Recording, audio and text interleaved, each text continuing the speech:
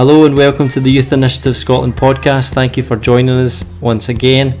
We've got a great show coming up today. I really, really enjoyed this interview.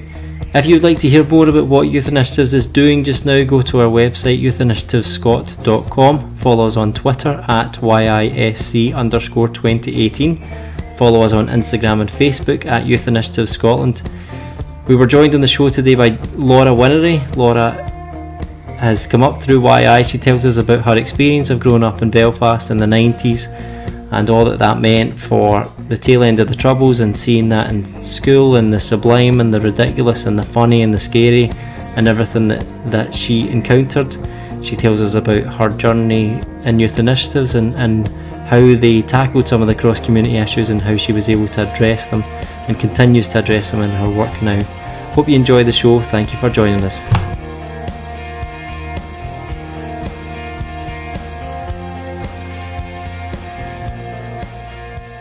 Yes, here we go.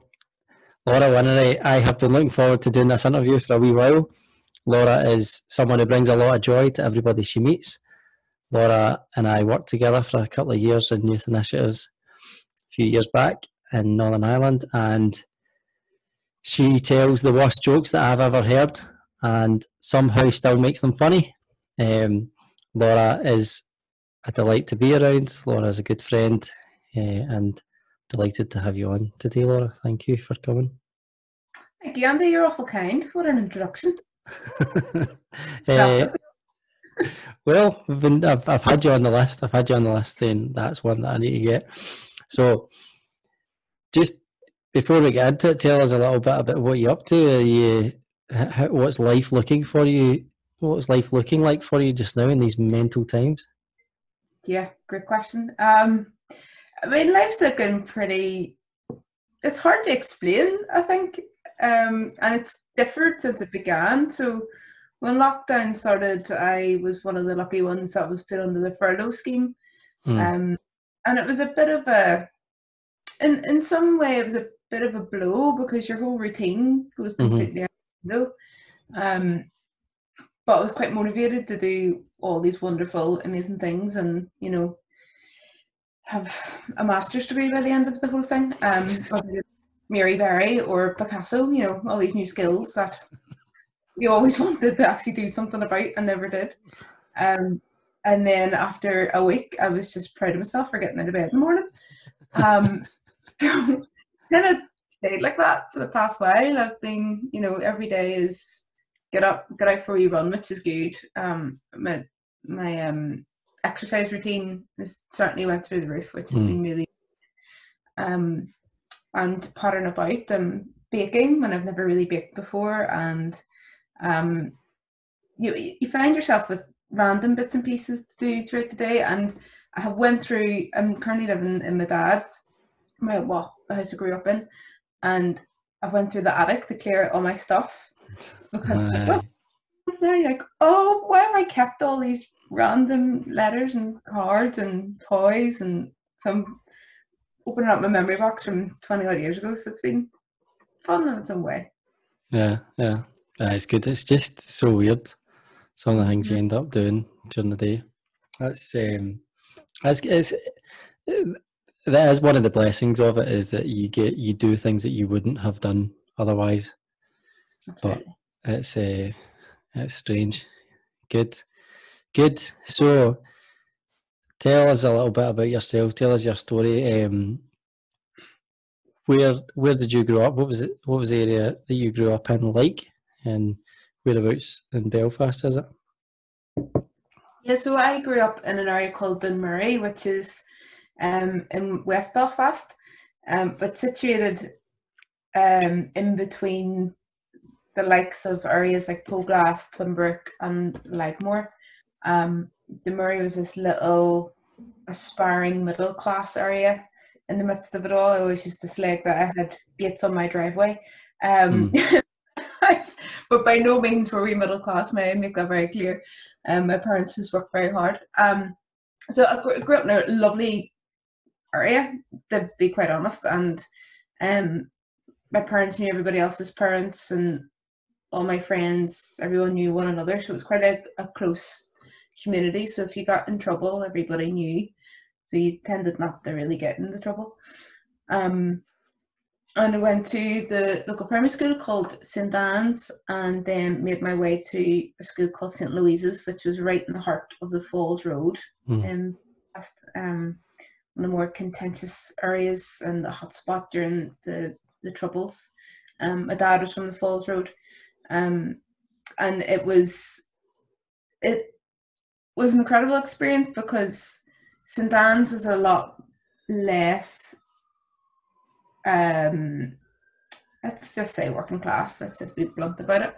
Um and so moving into the likes of St. Louise's um exposed me to family backgrounds that I wasn't really aware of actually. I went mm-hmm, the whole way through mm-hmm. school really knowing anybody whose parents were separated or didn't talk to their family or anything like that. Um and so I was I was exposed to a whole new like life and culture and um, became a lot more street smart, I mm-hmm. suppose. Mm-hmm. Interesting. You say it was during um, it was a hotspot during the troubles. Was that when were you at school, and do you remember anything from the troubles that like? Yeah, good question. During your school time. Yeah, a couple. Well, yeah, I suppose. So I went to school in the 1990s, 94s when I was in primary school, and then 2002 is when I went to secondary school.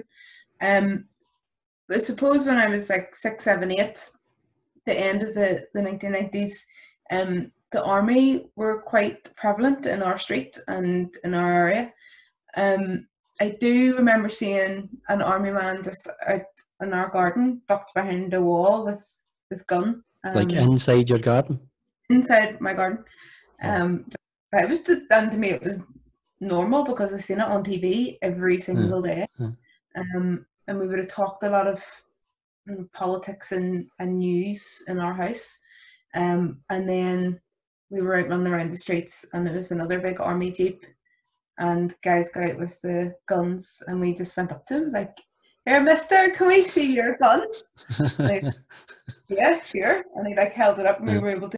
I was like, "Can I hold that?" He's like, "No." Hmm. Um, and then we had some cracking stuff. It was a brilliant story when we were in secondary school in St. Louise's. Um, you have to imagine some of the characters that I was in school with just absolutely fab. Um, so out there, just so out there, and lots of fights. I went. To, it was an all girls school, the biggest, apparently the biggest all girls Catholic school in Western Europe at right. the time. Two thousand okay. of us, all in the one building. Um, so you can only but imagine. Um, so it was fights every day. It was great, actually, great entertainment. Um, but um, there was one day when um, two actually the girls in my class, and for some reason there was a big tapestry, right, all thread and wool, that um, sat on the landing between the art department and the science department. Mm-hmm. And it was a glorious sunny day outside and we all wanted to have class outdoors and the teachers wouldn't let us. But just after lunch, um, the fire alarm went off. And the fire alarm had previously been going off for about six weeks every day because they were re- rerouting all the fire alarms and resetting schools huge. So it took about six weeks for them to like assess it. So every day, three times a day, the fire alarms would go off just to check them and you would know it was a test and that was grand. And this fire alarm went off and everyone was like, go again. And after about 20 seconds, it was still going off. And the teacher from the classroom next door put his th- foot through the door of our classroom. like, it's a real fire. Get out. And we're like, oh my god, all this. So we all just bolted outside his class. Glorious sunshine, running around. Um, but what had happened is this girl had taken a can of Lynx deodorant and put it up to the tapestry and just lighted it, and the whole thing just went kapoof. But it was right beside science department, so it was like uh-huh. chemicals, explosives, uh-huh. and all sorts. Um, and then when asked why she did it, she's like, I just wanted to see what would happen. the whole school went in fire. But um, a lot of people would have been like anti-police, let's put it that way, anti-establishment. Um, and so the fire brigade came down, that was fine, they put the fire out, and then the police had to come down, so there's about two or three big, and the PSNI over here don't drive around necessarily in cars, it's in big jeeps. Um, and so they came down in their big patrol jeeps, and one of the girls beside me took it's a carton of sukie, and sukie is a, is orange juice Mhm. in a in a carton, and she just it was as if it was a petrol bomb, and she just threw it at the police jeep. I know it's a really random story, but it's like, what? Why would you have done that? For what reason? Um, so it's just an example of some of the absolute Yeah. Crazy. Yeah. I'm to go to school with. Um, but again, people that grew up in the shadow of the troubles, I suppose, and had seen all this people throwing stuff at the police hmm day. It was normal, normal behaviour. So they Mhm.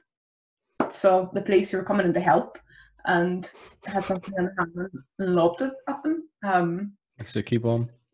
yeah, strange times. Strange Aye. times. We strange times. I know it's it's fascinating. It's fa- it's um because I grew up around the same time, obviously, and it's like I thought I had some sort of idea of what was going on because you see things in the news and all that, but it see when you he- when I hear people's lived experience of it, it's it's um that's strange. However, as soon as you said there was a tapestry in the school, I knew exactly what was going what that story was going to involve. Um, Well, so th- there, there are some things that go across cultures. um, cool, uh, uh, interesting. Like, so, so what was your school like? How did you get on at school then? Did you enjoy school? Sounds like you did. Yeah, I you know I love school. We had it. we had a blast. I grew up in a house with three older brothers, um, and I was going to survive in a, a school of all girls, but um, absolutely loved it. We did every day. We had something to laugh about. There was a good squad of us who were who were friends, and just made it really fun for each other. Um, and it was an incredible school as well. Just really cared about you, and so I found that as a place that just helped me to um just grow in lots of different skills. Academically, I was all right, but nothing exciting. Um, but got really involved in lots of other you know, drama and sport and all that sort of stuff. Mhm. Mm. And it was it was a really yeah. They always say your school years are your best years, and I would have to agree.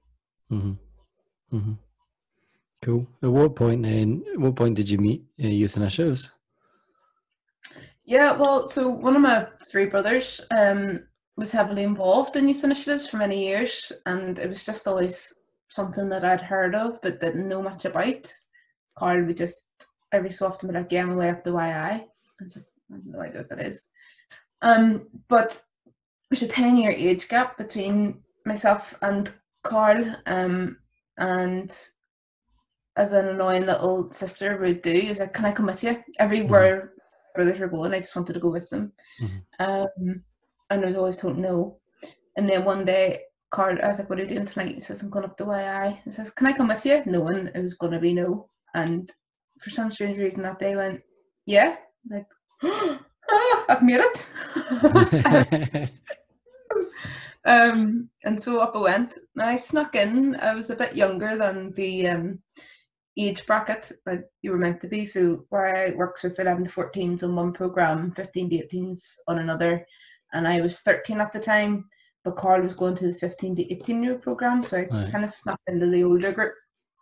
Um, and it was brilliant. Actually, it was just a really great atmosphere. There was an amazing welcome um, when we came through the door. In fact, we were late, and they kind of stopped what they were doing and announced that Carl Whinnery had walked through the building. Um, and he did this whole like, yeah, look at me, sort of, I'm here, everyone applauding and cheering.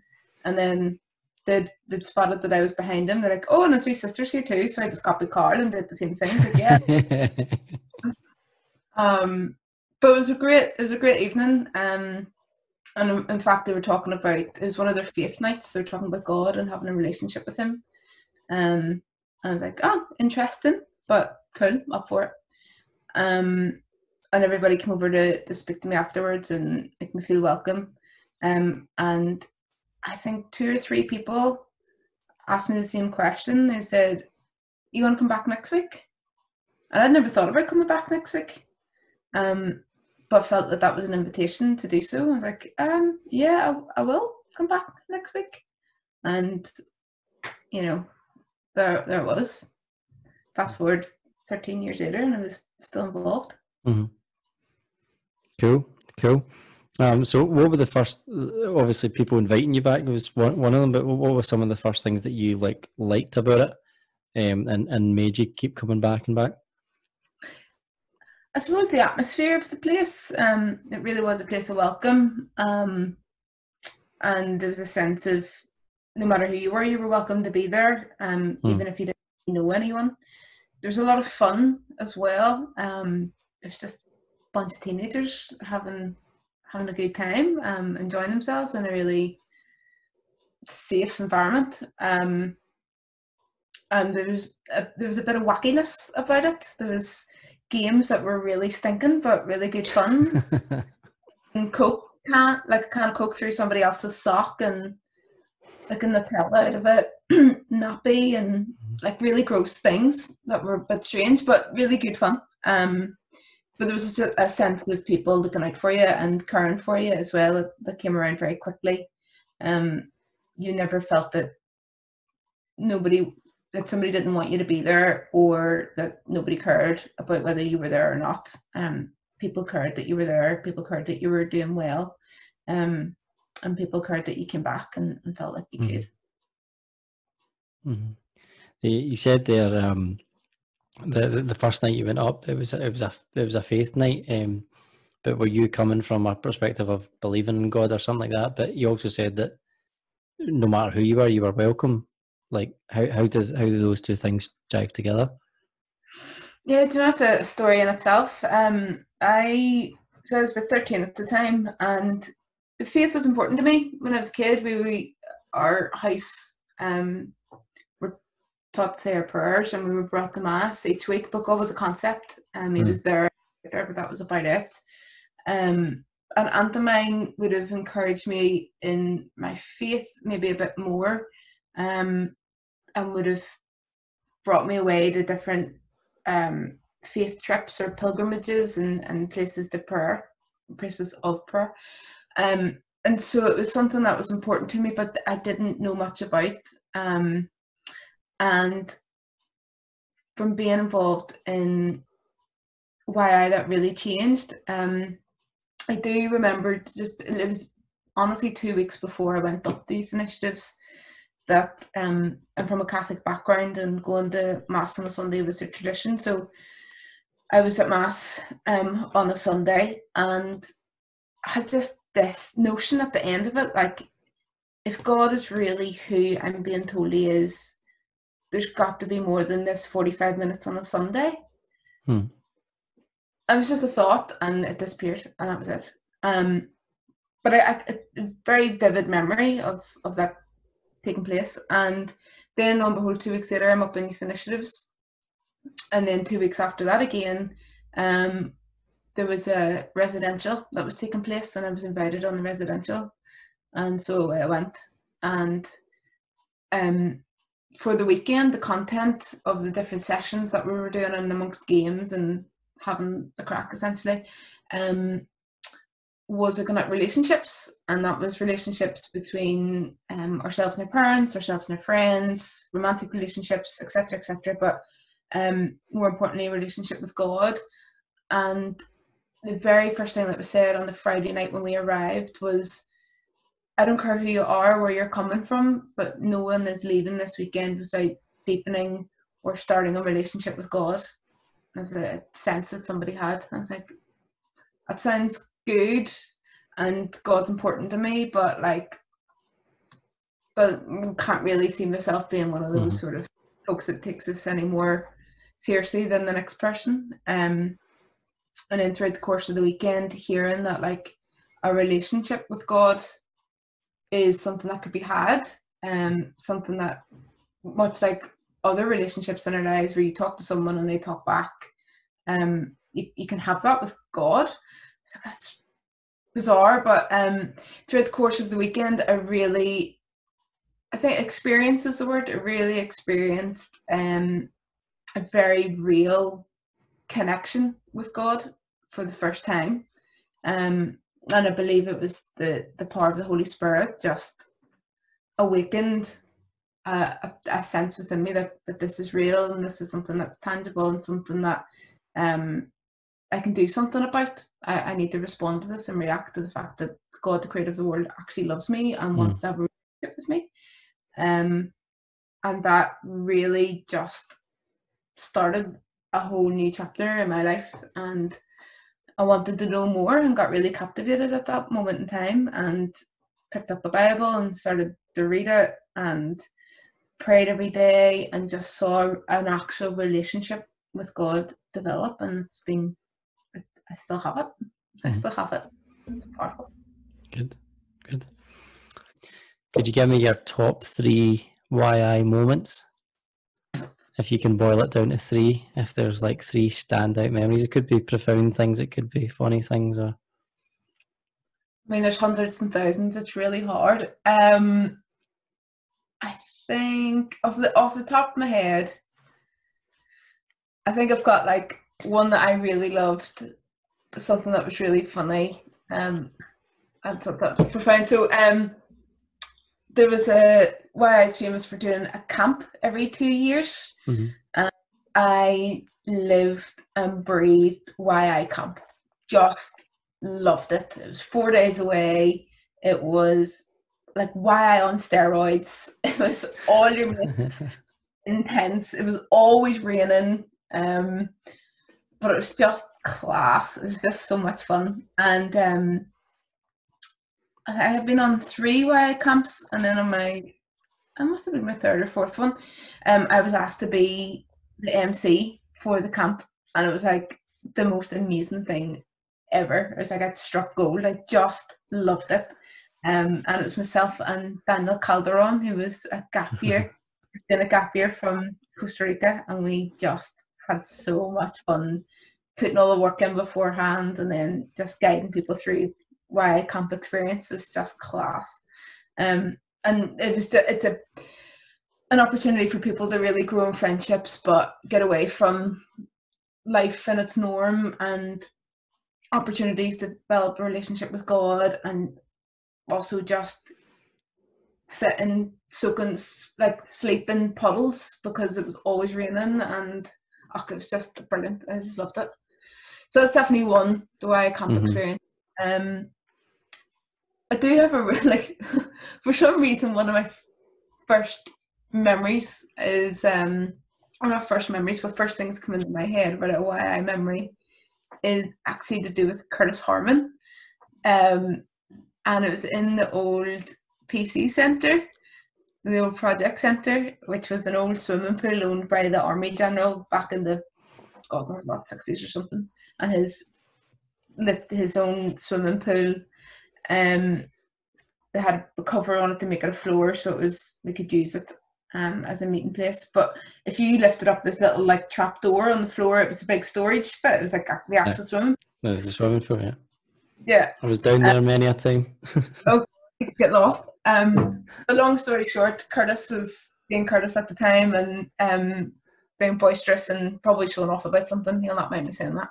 And um, was walking backwards and talking to someone at the same time, and the, the door underneath was open, and all of a sudden you seen him, and the next minute, boom, he was gone. He just like completely fell down the trap door.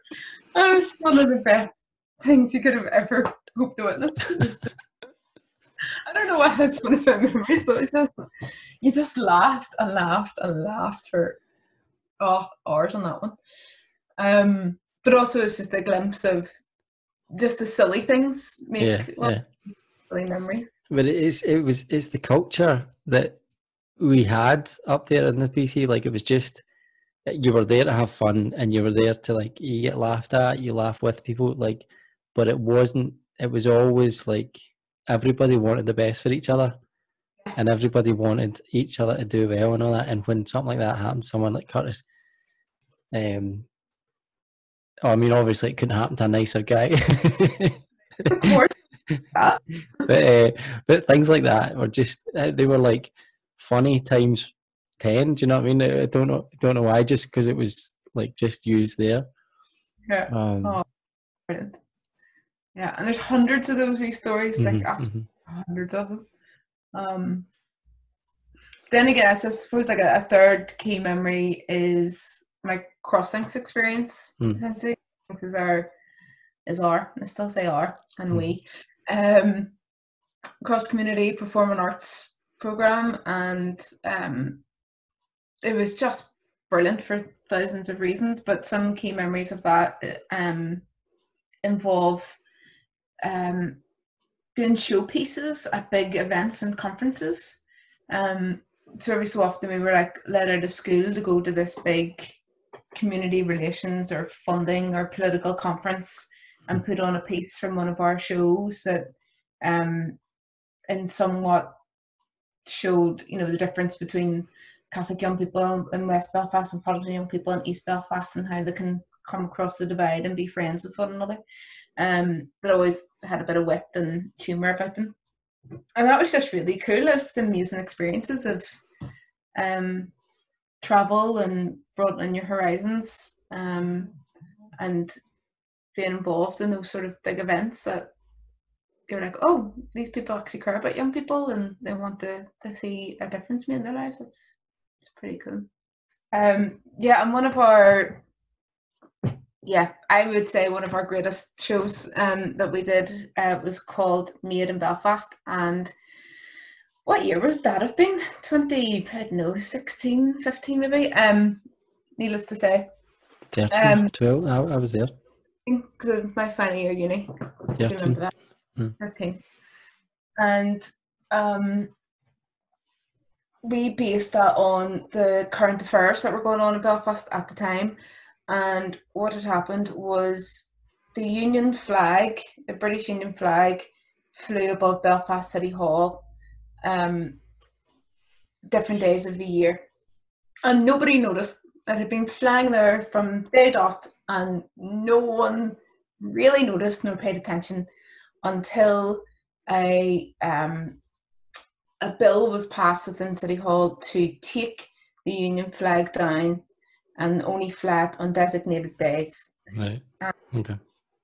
This then started a huge uproar right across mostly Belfast, and the media really got massively involved. And this this um, vote took place on the Monday, and crosslinks met every Monday night, and um, there was protests around Belfast. There was small pockets of rioting that were taking place um, over this decision, and it just it all just kind of got out of hand. And we had met um brought our the young people from West Belfast over to East they run our normal crosslinks program. And that evening we just talked about what was going on, like the flag was coming down and um people were getting really upset about this. And we had a conversation and the young people got really involved and it was amazing to see um young people caring about this and caring about mm-hmm. their local community and the impact it was having. And we decided to base the whole show around Belfast at the time, and even when the young people were getting on the bus to go back home, there was bricks thrown at the bus, and mm. there was young people were like, "Oh, you know, there's somebody from another community in our area." And it's like, "You didn't. This didn't bother you yesterday, but all of a mm-hmm. sudden." Um, and so one one of the the great pieces um during that show was we were always talking about, you know, what do you, what do you think about the flag coming down? How does it make you feel? And what do you think about the flag coming down? How does it make you feel? And then we were we were just like, I wonder how the flag feels. it's about it coming down. Nobody cares about it. Nobody's asked its opinion. Um, it personified the flag and did a whole scene on the flag on him for therapy and counselling and listening to me and no one's talking to me about how I feel. Uh, Really excellent.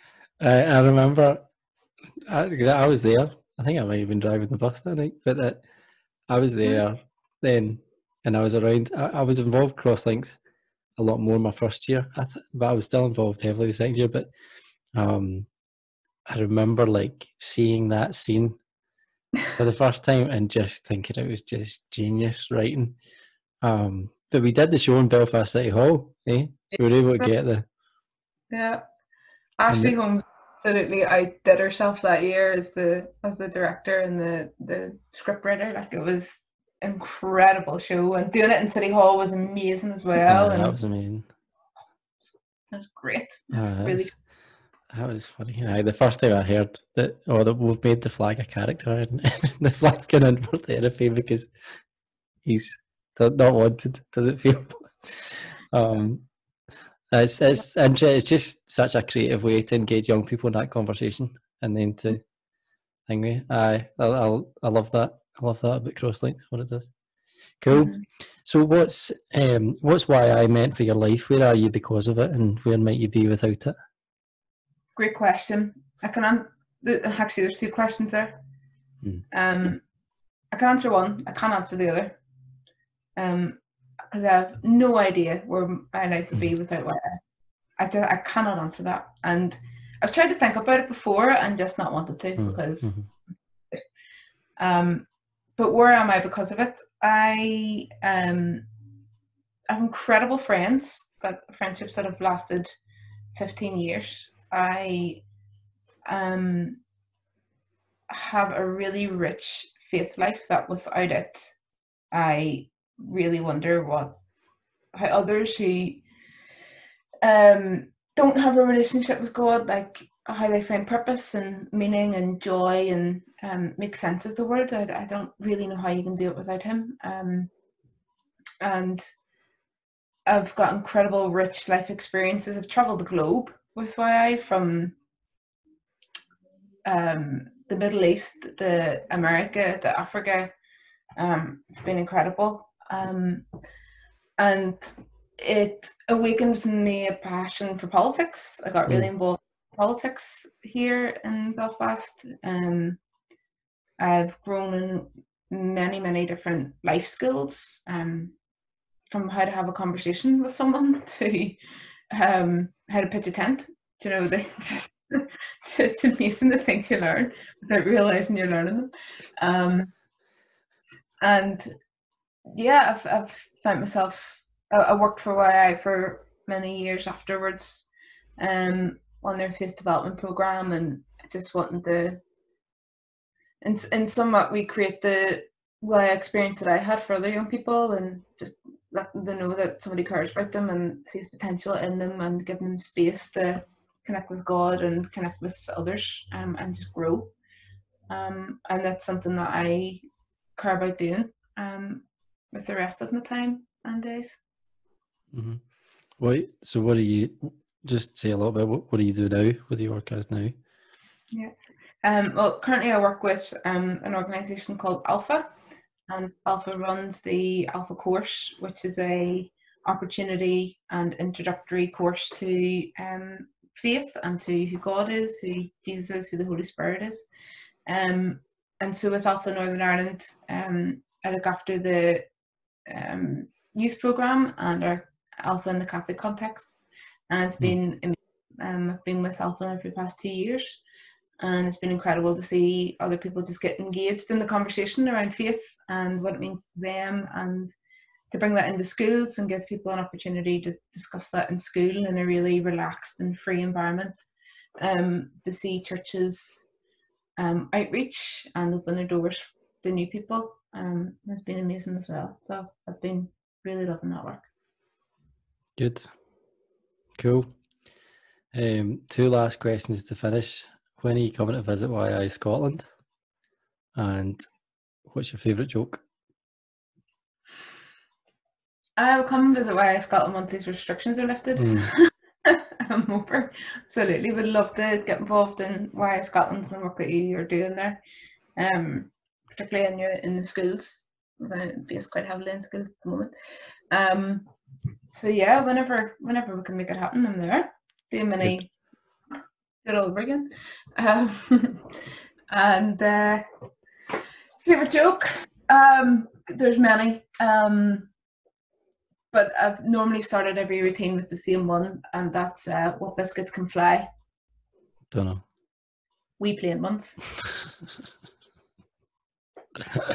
I don't know why I said I don't know. I, I did know.